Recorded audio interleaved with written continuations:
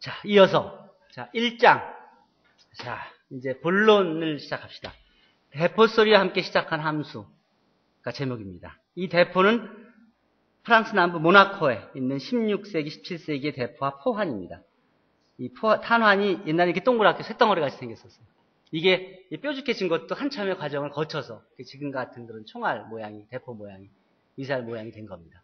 처음에는 수학적으로 전혀 생각하지 않고 만든 거예요.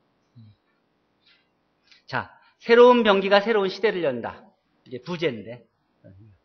자, 지난번에도 간단히 소개했듯이 전쟁의 역사는 유구한 무기 개량의 역사라고 말할 수 있다. 자, 전쟁의 역사는 자, 여기서 밑줄을 좀 거보면서 할까? 음, 음, 그러네. 음, 이거 밑줄을 이렇게 그 이렇게. 자, 역사, 전쟁의 역사는 우수한 무기계의 역사라고도 할 수 있다. 몇십 년에 걸쳐서 단련된 칼의 달인도 일주일 정도 배운 보통 사람의 총과 대포를 당하지 못했다. 그 예가 바로 아, 그 예 중에 하나가 전형적인 예가 일본에서의 전쟁입니다. 1575년 오다 노부나가의 군대가 다케다 가스요리의 기마병 1만 5천 명을 어, 물리친 전투인데 당시로서는 기록적인 내용입니다.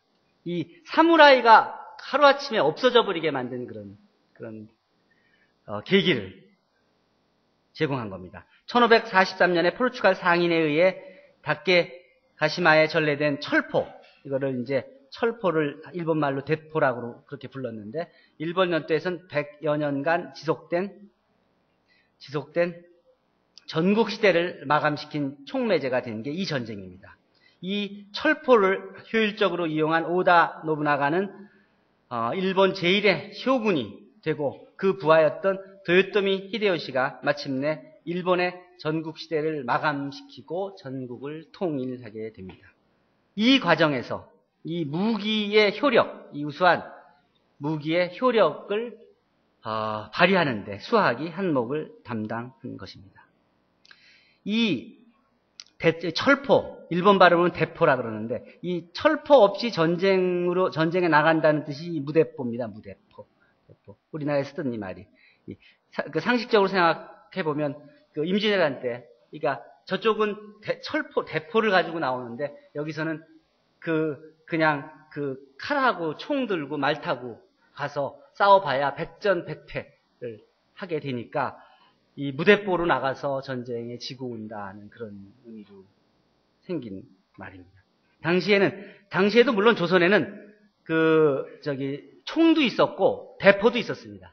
근데 이 총이나 대포를 똑같이 수입해 왔음에도 불구하고 우리는 그것의 중요성을 알아차리지 못하고 예를 들어 인터넷의 중요성을 알아차리지 못하고 또는 뭐 이 비즈니스의 중요성을 알아차리지 못하고 검색 인재의 그 중요성을 알아차리지 못하고 하듯이 이 그 변화의 중요성을 그 알아차리지 못하고 그거를 분석해서 연구하는 데도 게을렀고 그거를 많이 만들어내는 리프로듀스 하는 데도 별로 신경을 안 썼던 겁니다. 그런데 일본은 그 가치를 알아차리고 그것을 뜯어서 그 어, 뜯어서 분석하고 조립하고 하면서 그 비슷한 것들을 만들어내고 그걸 개량하면서 그 전력을 키워서 그래서 결국 아, 자기들의 전쟁을 이기고 그 남아도는 힘을 아, 한국에 와서 엑서사이즈를 한 겁니다. 자, 봅시다. 1절 난공불락의 성병 전쟁에 왜 수학자가 필요한가? 전쟁에 왜 수학자가 필요한가? 이, 그, 1대1로 전투를 하던 고대 전쟁이 근대 전쟁이 되면서 기관총 한 자루가 수십 명을 어, 상대해서 싸우고 한 대의 특공기가 몇천 명을 어, 살상하고 한 명의 유능한 스파이가 여러 개 사단의 역할을 하고 그리고 더 나아가 원자폭탄에 이르러서는 폭탄 하나 떨어뜨림으로써 전쟁을 그냥 끝내버릴 수도 있는 그런 그런 시대를 맞이하게 됩니다. 자 이렇게 전쟁이 발발하게 되면 아무리 세상 일에 관심이 없던 수학자들도 자이든 타이든 어, 징집도 되고 또 그리고 그 뭐, 아, 그 전쟁 중에는 아무 산업도 없으니까 그냥 서바이벌 하기 위해서라도, 먹고 살기 위해서라도 뭔가 일을 해야 되는데 전쟁 중에는 전쟁하고 관계되지 않은 일은 거의 없으니까. 그러니까 특히 젊을 때는, 젊을 때는 다 징집대 하니까 결국은 군대에서 자기가 할 수 있는 일을 하게 되는 경우가 많습니다. 어쨌든 수학자도 원튼 원치 않든 어, 어, 전쟁에 협조하도록 강요를 받게 됩니다. 그런 예들이 오래전부터 있습니다. 기원전 3세기의 아르키메데스는 로마군과의 싸움에서 투석기, 기중기, 일반 반, 일광 반사경을 발명했고 16세기의 네이피어는 로마 교황과의 전쟁에서 화포, 전차, 연소경, 어, 잠수함 등을 고안했고 19세기 어, 나폴레옹 시대에는 인류 수학자들이 이 전쟁에 동원돼서 그 능력들을 발휘하게 됐습니다. 20세기에 는 제2차 세계대전의 예를 들면 영국의 패트릭 브레킷이라는 어, 그서 패트릭 브레킷이라고 우리는 잘 몰라도 영국엔 굉장히 유명한 사람입니다.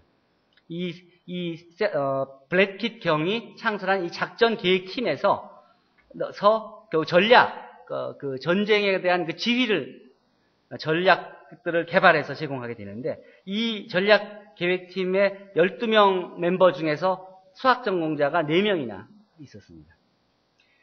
이 수학자들은 수학자들이 어떤 능력이 전쟁과 관계를 갖게 되느냐? 이 결국은 공격과 수비를 어, 전쟁이라는 게 결국 공격과 수비에 의해서 이루어지는데 이 공격과 수비를 하는 상황에서 주어진 상황에서 최대 효과를 추구하다 보면 결국 수학적인 생각과 수학적인 문제 해결력이 필요하게 되는 겁니다. 자, 몇 가지 이제 예를 어, 제시하겠습니다. 먼저 국가 도시를 지키는 어, 성벽 예를 보면 어, 중국의 전국 시대에는 에 이제, 마, 에 이제 만리장성을 이제 만들기 시작합니다. 이, 이 가욕관이 서쪽의 끝이고 이 산해관이 동쪽의 끝입니다. 지금은 이걸 더 늘려갖고 이 만리장성을 쭉 늘려서 이 만주까지 늘린 다음에 이게 다 만주 만리장성이고 그러니까 만주 땅도 다 옛날부터 중국 땅이었다고 그러는데 그렇지 않고 옛날에 만리장성은 여기까지고 여기 아래만 중국이고 여기는 다 우리 저기 자기 나라 땅이 아니었습니까? 당연히 우리가 만주는 한반도의 일부로 여기졌던 거예요. 자 어쨌든 시항제 때 이걸 이 어, 만리장성을 확장하고 위진 남북조 시대에 이제 거의 완성하게 됩니다. 이 만리장성은 길이가 6,000km고 100m마다 파수대가 있습니다. 그리고 성벽의 높이는 약 8m고 폭은 6m인 거대한 그런 그 구조물이 되겠습니다. 그 이제 그러한 그 성벽들의 예를 전쟁을 대비해서 만든 성벽의 예를 보면 이게 서안에 있는 서안이 장안이에요. 저기 지금 어디냐면은 어, 저 중칭, 저 중, 저 중경, 그 서쪽에 있는 중경입니다. 어, 모르다면 사천 요리 그러면 더 잘 알 거예요. 저쪽 서쪽에 있는 중경에 있는 어, 만 저기 만리장성의 일부고 이게 카르카손 성 프랑스 남부에 있는 성의 성곽이고 이게 이제 이스탄불에 있는 터키에 있는 어, 데오도시우스 성벽입니다. 여기 내가 직접 가봤습니다. 어, 중경에도 가봤고 네, 나중에 이따 사진을 보여줄게요. 자, 저런 성벽들이 그럼 전쟁에서 어떤 역할을 했고 거기에서 수학자들은 어떤 역할을 했을까? 오스만 제국과 군대. 자, 터키의 대도시 이스탄불은 330, 서기 330년 콘스탄티누스 제제가 어, 그 비잔티움을 제국의 수도로 하고 거기를 콘스탄티노플이라고 명명한 곳입니다. 이스탄불이. 이 데오도시우스 1세가 제국을 동서로 나눠서 두 아들에게 상속하는데 어, 장자에게는 오스만 제국을 또 차자에게는 서로마 제국을 승계하게 어, 만듭니다. 그래서 오스만 제국의 콘스탄티노플 즉 이스탄불은 오스만 제국의 수도로 약 천년간 번성하게 됩니다. 삼면이 바다고 육지 쪽은 3층의 벽을 가진 난공불락의 견고한 도시였기 때문에 콘스탄티노플이 천년이나 그, 건, 어, 유, 그 권력을 유지하고 지킬 수가 있었습니다. 콘스탄티노플은 몽고의 기마대한테도 버텼고 서유럽의 중장비 군단에도 버텼고 튀르크족의 인해전술과 같은 당시 어떤 경우에도 끄떡없이 천년을 버틸 수가 있었던 겁니다. 그러나 이 높이는 높았지만 두께가 두껍지 않은 이 콘스탄티노플 성벽의 구조는 사람과 말의 공격에는 강했지만 1453년 처음 경험한 이 청동제 대포 경곡에 힘없이 무너지게 됩니다. 서유럽의 선봉이라고 할 수 있는 요충지가 동방의 공격으로 함락되어 멸망한 후 다음과 같은 변화들이 일어나게 됩니다. 이를 통해서 새로운 시대가 시작되는 것입니다. 자, 동방으로부터 강한 압력으로 어, 대항해 시대가 개막되고 활로를 서쪽으로 찾아서 신천지를 찾아서 아메리카로 가게 됩니다. 우수한 그리스인, 그 로마인 학자들이 유출돼서 그, 그 컨스탄티노플에 있던 학자들이 이탈리아로 이사갑니다. 떠나갑니다. 그래서 이탈리아의 도시국가에서 르네상스가 꽃피우게 됩니다. 그리고 이슬람교에 참패당한 기독교, 이 기독교인들이 반성하면서 이 종교혁명이 일어나고, 종교혁명이 일어나고, 그리고 어, 동방의 문명 또 문화가 수입되면서 제2의 헬레니즘 문화로 발전됩니다. 그리고 대포라는 이 대포 때문에 이 나라를 뺏기게 되고 하면서 그걸 경험하면서 대포라는 무기에 대한 진지한 연구가 시작됩니다. 이게 새로운 수학의 시대를 탄생시킵니다. 음지비김의 수학이라고 어, 이전과 구분해서 얘기할 수 있습니다. 이게 여러분들이 지금 배우고 있는 수학의 시작이라고 보면 됩니다. 자, 터키의 역사를 간단히 보죠. 터키 역사는 우랄 알타이 여족에 속하면서 어, 6세기에 어, 알타이 산맥 방면에서 일어나서 서방으로 진출했으며 11세기에 셀주크 투르크가 예루살렘을 점령하고 13세기에 이슬람 교주 오스만이 오스만 제국을 성립한 어, 저, 걸, 어, 그, 어, 건립합니다. 그리고 그 다음 1453년에 이제 어, 아, 멸망을 시키고 그다음 그 다음에 이 터키는 1923년에 공화국이 수립되어서 이 이스탄불 그 이전에 콘스탄티노플 도시를 수도로 터키 공화국이 수립됩니다. 이 터키 사람 터키군이 행진하는 모습이 굉장히 유니크합니다. 당시에 이 투르크족들의 그 힘, 저기 전투력은 대단했고 그러한 그 자부심을 아직도 갖고 있습니다. 아, 이게 그, 그, 저기 터키에 있는 이 대포 공장의 유적입니다. 이게 이제 여기가 이게 이스탄불인데 이 마르마라 해고요. 여기가 여기가 동양의 끝이고 여기가 서양의 시작이라고 보면 됩니다. 무슨 말인지 알겠어요? 이게 동양 그러니까 동양과 서양이 만나는 데가 바로 이스탄불입니다. 그러니까 실제로 실제로 사람도 동양 사람과 서양 사람들이 가장 많이 섞여 있다고 봐도 됩니다. 여기 이스탄불 사진을 간단히 한번 보여줄까요? 이스탄불.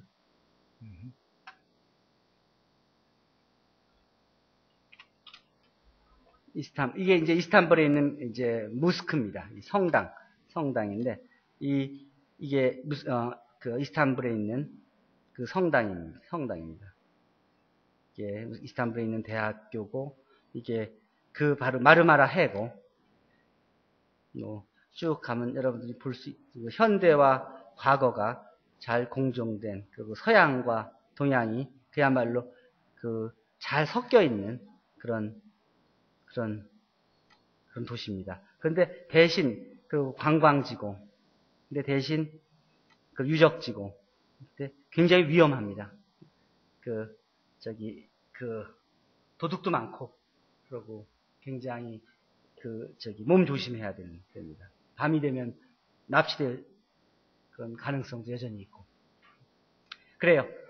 어쨌든 자 우리가 그 대포 소리와 함께 시작한 함수에 대해서 어, 소개됐고 이어서 대포에서 그야말로 근대 수학이 어떻게 우리의 캘큘러스가 어떻게 시작되는지를 어, 보도록 하겠습니다. 자, 3절 대포에서 움직임의 수학, 동의 수학이 어, 탄생하는 어, 내용에 대해서 시작하기 전에 어, 궁금한 거 있으면 질문하세요.